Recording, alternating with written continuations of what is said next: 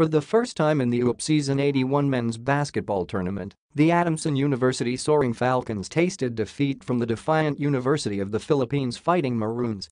State U center Bright Akhuetie, who was limited to just six points in the contest, scored a game winner off of timeout to seal the victory and force a rubber match for the Fighting Maroons on November 28, 2018 at the Smart Araneta Coliseum in Quezon City.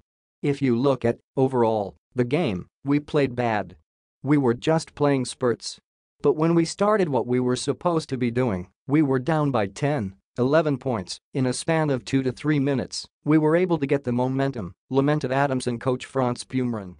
We made some mental mistakes. Pumaren's wards were down by as much as 13 points in the game and looked second best in the third quarter. Jerrick Ahanmisi was also not at his usual best because he was still recovering from illness that's why during the whole season, we worked hard for the twice-to-beat advantage. You know, we lost this game, but if you look at the other side of the coin, there's still one more game, stated the five-time UAAP champion coach. Perhaps the one glaring statistic that sums Adamson and his loss was its dismal three-point shooting.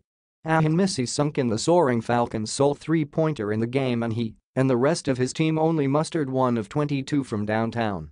I guess we should have gotten this victory in spite of us playing bad, said the De La Salle University alumnus. You know that's a very good sign.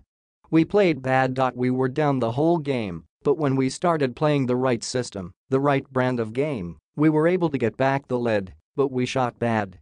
At the end of the day, Pumaren simply moved forward from the result. Yes, it was a setback, but one which isn't deadly, and, ultimately, he and everyone from the Adamson community can have the last laugh. Both teams are gunning for history, us making the finals, same thing with UP. It's gonna be a fun game. It's gonna be a classic game, shared Pumaren. I think the broadcasting network will rake in a lot of sponsors. I just like to remind the scalpers that I have a known measure, the anti-scalping ordinance, that they cannot do that in Araneta